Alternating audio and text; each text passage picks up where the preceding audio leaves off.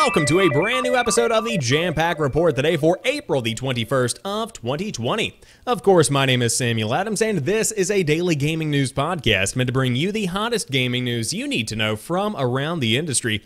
Hosted on YouTube and podcast services around the world 5 days a week, it is your one-stop shop for all of the hottest gaming news that you need to know. And today we have plenty to dive into, especially if you are an Xbox fan, because for the budget minded gamer in your life, you could be getting an Xbox Series S this holiday season. We will talk more about these new rumors that are beginning to make their rounds, and of course, share the adorable little box shaped mock up that you might have seen floating around online. On top of that, Death Stranding has been delayed on PC. Nintendo is investigating some security breaches, and we have plenty of other news to dive into today. So, without further ado, let's go ahead and dive into today's top gaming news. First off, Microsoft's cheaper next gen console, the Xbox Series S, could reportedly be revealed in May. The long rumored console, previously referred to in leaks by the codename Lockhart, is designed to appeal to cost conscious players and will target 4 teraflops of computing power as compared to the 12 of the Series X, Windows Central reports. Although the system is reportedly less powerful than the Series X, it is claimed the Series S will still offer aspects of the next gen experience currently unavailable to past gen consoles, possibly in the form of faster SSD loading speeds and limited ray tracing. It was previously claimed that Lockhart would ship with a faster CPU, no disk drive, and target 1440p gaming. Game developers would be expected to support both the Series X and S, it's claimed, in a setup similar to the existing Xbox One X and One S consoles, as well as the PlayStation 4 and the PlayStation 4 Pro. Microsoft has already said the first few years of Xbox Series X releases will be expected to run on its less powerful legacy hardware, as well as PC. Series S may be heavily promoted with Microsoft's xCloud streaming service, which could theoretically allow the console to stream Series X quality performance when Microsoft transitions its server blades to incorporate the next gen processor. Windows Central claims this week that Xbox employees are now testing Xbox Series S in their homes and that the timing could line up with reports of an upcoming Xbox reveal event. It has been claimed Microsoft is planning reveals for May in addition to a digital showcase around June, which matches what VGC has been told. Microsoft said on Monday that the upcoming Cyberpunk 2077 themed Xbox One X console will be the last special edition version of the hardware, and Niko Partners analyst Daniel Ahmad suggested the company could discontinue the current gen model ahead of Xbox Series X's launch during the 2020 holiday season. Ahmad also claimed last week that E3's cancellation will see, quote, the first proper next-gen console slash game showcase take place much earlier than June, when the annual trade show was originally scheduled to be held. Windows Central suggested Microsoft may be planning to show off some next-gen games in May too, potentially 343 Industries' launch title Halo Infinite and Playground Games' Fable Reboot. And so there is plenty to dive into on this news here today. Uh, but first and foremost, is this something that is possible and is it wise? I have two takes on this that I have been kind of throwing around in my mind throughout the day. First and foremost, let's take a look at what's happening around us in the world. There are a lot of people that are financially unstable right now, and they might not be willing to spend between five and six hundred dollars on a console, or in general, a new console. It is going to be a difficult time if the current status of the world is to continue throughout 2020 to release a brand new video games console because it might not be the first thing on many people's minds. However, if you do offer something of a hybrid between a last generation console and a next generation console, where it's not quite the peak, it's not quite the most amazing thing, but it's definitely better than the Xbox Series X, then you could actually find a market that would be willing to pay $300 as compared to the, let's say hypothetically, $600 of the Xbox Series X, or even the competition of the PlayStation 5. Uh, and so if you take it in that specific way, uh, then the Xbox Series X very well could be released alongside the Xbox Series S. Uh, now, the big question here is is there room for two competing consoles right off the bat? Because we've never really seen that before. You see consoles released uh, that might have different sizes of hard drives installed in them, but you never really see two different SKUs of a console that play essentially the same games released alongside each other. Even in terms of the Xbox Series S versus the X or the 4 versus the Pro, you still have this gap in between where there was one console from the beginning. Of course, have consumers evolved since that kind of setup has been introduced? Have we gotten used to that idea? Perhaps it could be a gamble, but ultimately I I think that May is going to be a big month for the gaming industry, and I think we are going to be seeing a lot about the next generation consoles as well as the games we are going to be playing on them. And it's worth also considering that let's say that this event happens on May 16th. We'll just give it right in the middle of May. You essentially have June, July, August, September, October. You're getting close to when you need to be thinking about releasing this console. November generally is the month in which you see big console releases uh, in terms of PlayStation and Xbox historically, uh, at least whenever we look back at the latest generation. And so, if these release dates that they have penciled in on their notepads do maintain their fidelity and they do hold up, uh, then we could be roughly about six months away right now from seeing a big next gen reveal making its debut. And so hopefully May will have a lot more news because right now it's pretty much radio silence in the grand scheme of things. However, moving on, Death Stranding has been delayed on PC until July. If you have been waiting for a delivery from Sam Porter Bridges, you are going to have to wait a little while longer. Death Stranding won't be coming to PC in June, but it's only been delayed by a month. Like a lot of studios, Kojima Productions has recently switched to working from home, which has affected development of the PC port. To give the team more development time, the release date has been pushed back to July the 14th.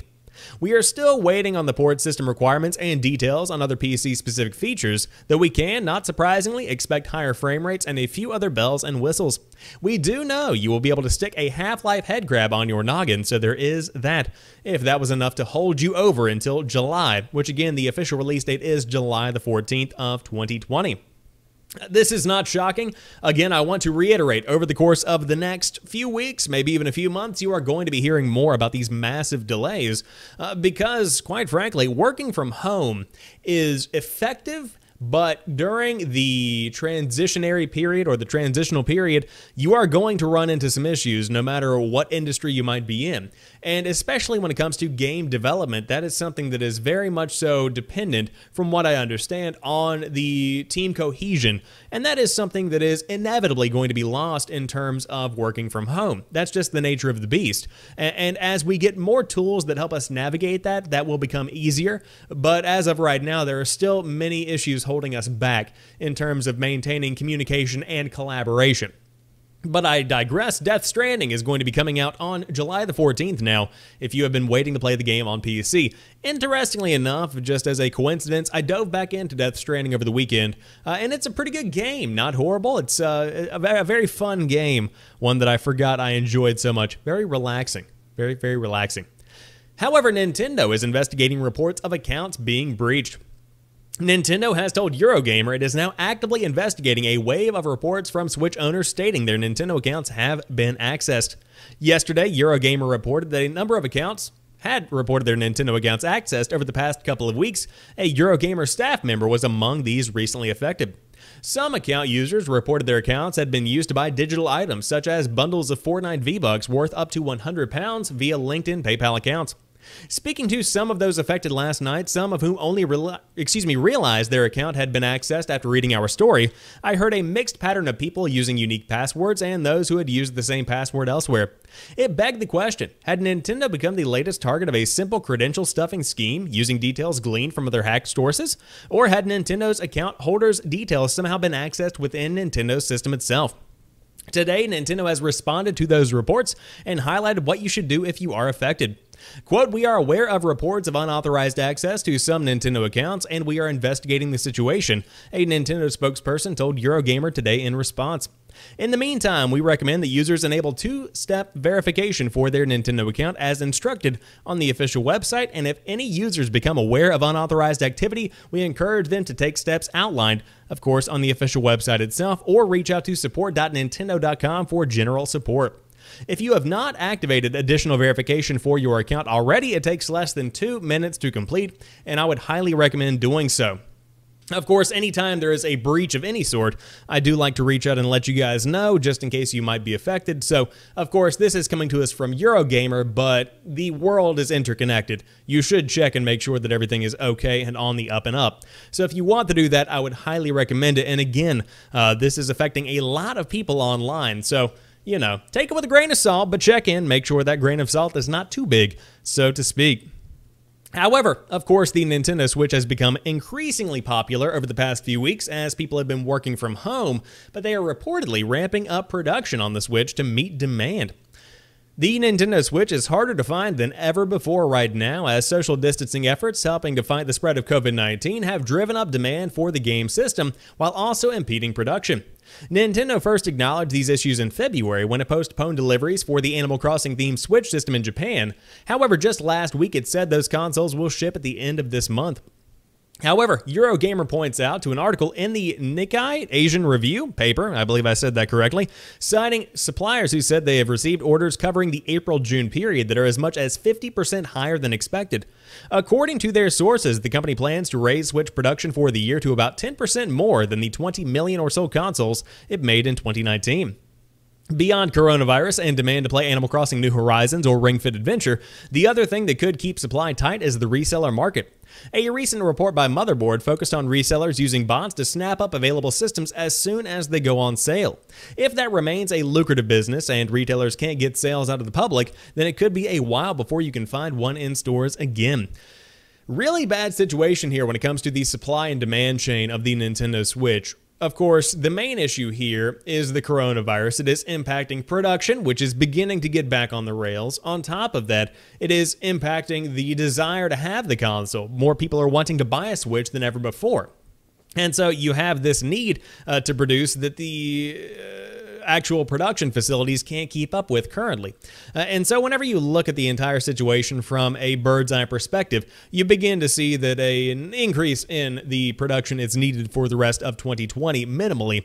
And on top of that, it is also worth pointing out that there's a big market for reselling these consoles, and that's very unfortunate because bots will scoop these up and they will place orders and they will inevitably end up on eBay or Facebook Marketplace or whatever other kind of reseller you might come across. And that's just unfortunately the nature of the beast. I don't really know how to combat that. But hey, if you flood the market with consoles and they're still being bought by bots and you still are able to put some on the shelves, then sales just continue to rise, so you might as well produce more, which is exactly uh, what Nintendo is currently in the process of doing. So if you have been waiting for a Nintendo Switch for a while, your time is coming. Just be patient, they are on the way. However, a new rumor is beginning to circulate that Modern Warfare 3 has been remastered and is finished and will launch on PS4 first. Modern Warfare 2 Campaign Remastered felt like the industry's worst kept secret when it shadow dropped on the PlayStation 4 earlier this year, and it sounds like Modern Warfare 3 Campaign Remastered may not be far behind. Reliable Leaker, the Gaming Revolution, reports that the re release is actually already finished and Activision is just waiting for the opportune moment to deploy it. Considering that we heard about Modern Warfare 2 years before it arrived, we reckon this is plausible. According to the aforementioned source, both titles were supposed to launch prior to Infinity Ward's 2019 Modern Warfare reboot, but a shooting in Dallas scuppered the publisher's plans and pushed both titles back. There is no date attached to the purported port of Modern Warfare 3 just yet, but the Gaming Revolution claims that it will arrive first on PS4, as Activision and Sony signed a timed exclusivity deal for the first person shooters. Assuming this is all accurate, we can't imagine you'll be waiting too long for the title to arrive. The publisher will want to get these out before it starts the promotional cycle for the next Call of Duty game. Really interesting story out of left field here. Uh, one that, of course, is near and dear to my heart. I played Modern Warfare 3 to death, and the campaign, although very generic, is good. I enjoy it. Uh, but I think this is not out of the question. Now, if you had asked me this exact same question, or you had shown me this statement maybe about two or three months ago, I would have said there's no way they would release Modern Warfare 2's campaign remastered first. Lo and behold, they did. Very quickly. I truly expected that to be a July release when it comes to when we were going to actually be playing Modern Warfare 2 Campaign Remastered. Uh, but if that trend continues, then I wouldn't be surprised to see Modern Warfare 3 be the summer Call of Duty Campaign Remastered. That makes a lot of sense to me. I think that could be the case. And then that way, uh, you get a couple of budget games, if you will, budget Call of Duty games out between the 2019 Modern Warfare reboot. And then on top of that, you have Warzone. And then on top of that, you have these two campaigns. It's a massive year for Call of Duty. And if this year's Call of Duty rumors are to be believed, we could, it's a Black Ops remaster. That's nuts. Of course, we've talked about that on previous episodes of the show. If you do want to go back and check those out. But man, what a time to be a Call of Duty fan. However, what a time to be a Crysis fan as well, because deleted posts suggest that more than one Crysis game will be remastered. Last week, after many days of teasing and a premature leak, Crytek announced Crysis Remastered. The upcoming release will see the first Crysis entry brought back to life on current gen hardware for the first time.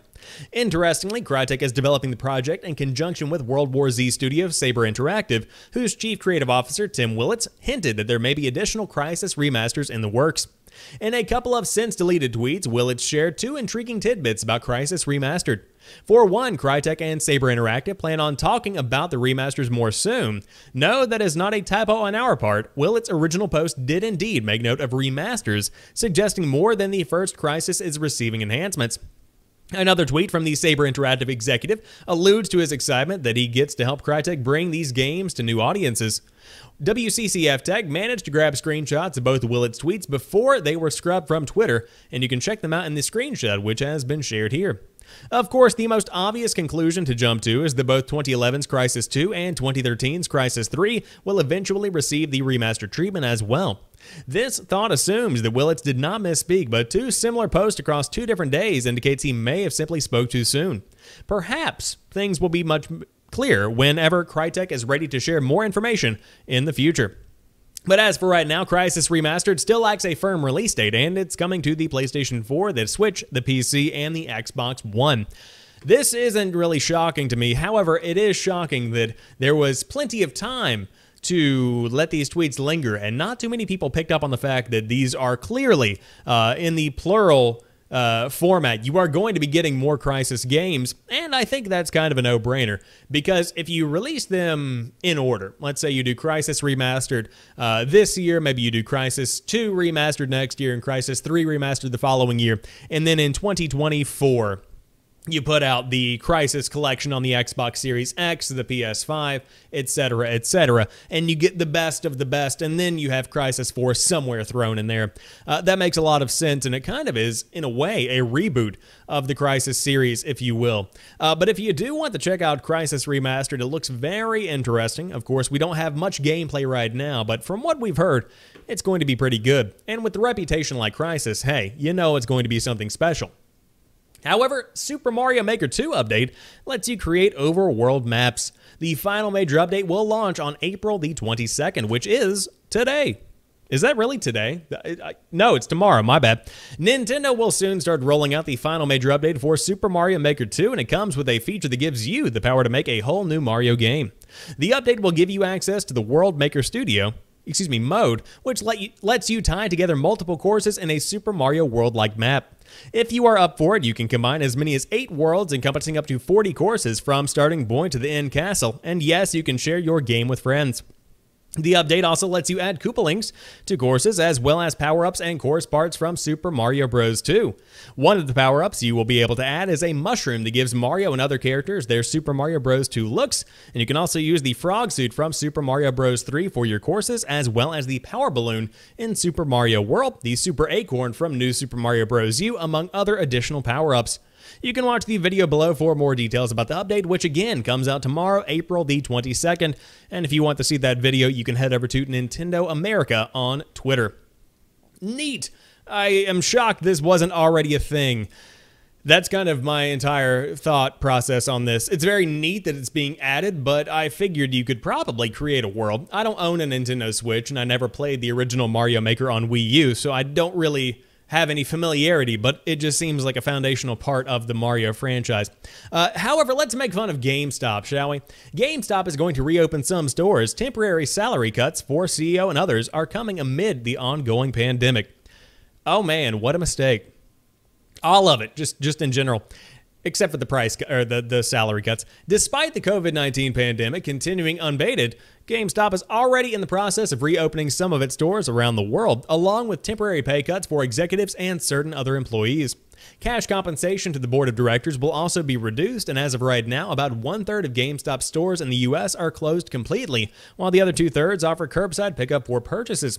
Quote, the company has begun the process of reopening stores in Italy, Germany, Austria, and the states of South Carolina and Georgia, and is preparing for the potential to reopen in other operating countries and states in the coming weeks, GameStop said in a release on its site. GameStop did not make clear if these reopenings would be limited in some fashion or have increased specific safety measures to the pandemic. CEO George Sherman will be taking a 50% pay cut during this time, with a 30% cut for CFO Jim Bell and the rest of the executive leadership team. The board of directors, including the newly added Reggie Fils-Aimé, will also have its cash compensation temporarily cut by 50%. Other employees across the business will see reductions anywhere from 10 to 30%, and corporate support staff are also being offered the option of a temporary furlough or reduced hours and pay. GameStop stores closed in the face of the coronavirus pandemic on March 22nd, although it was not without embattled opposition and claims that it was an essential business. It is unknown just how long these temporary measures and pay cuts will be in effect or what the process of reopening certain GameStop stores will look like. GameStop's current goal is to preserve financial health while waiting for operations as usual to resume. In late March, the company expressed its intentions to close more than 300 stores permanently, and it also said it has seen a surge in demand during this time, specifically in fiscal March ending in of course, March 21st, although overall sales declined year over year for the nine week period leading up to April 4th of 2020. And so, uh, this is a very complicated issue. Uh, it is, for some reason, becoming political, and I don't want to become political on this show. Uh, but one of the biggest things that blows my mind is that you see scientific research that shows we probably shouldn't start doing things this soon. It's probably not a good idea. Then you see a whole bunch of companies just opening their doors and saying, "Hey, business is back on, baby, let's go." Oh man, it's it's just a mess. But hey, uh, I I have no other comment on this except for the fact that GameStop stores are reopening, and it seems like, according to their statement, they are aligning their reopening process with the states and the areas that are allowing businesses to resume operations. You see this happening in Georgia, in South Carolina, and those are the two that really point my mind in that direction. But I digress. That wraps up today's episode of the Jampack Report. If you enjoyed this one, drop me a like down below and let me know what you think about the show and everything we talked about today. Will you be getting an Xbox Series S or an X or a PlayStation 5? Or perhaps you are happy with what you've got right now? I would love to hear, see, read your thoughts down below. There we go. Uh, but until tomorrow, you guys have a fantastic rest of your day. I'll talk to you soon and peace.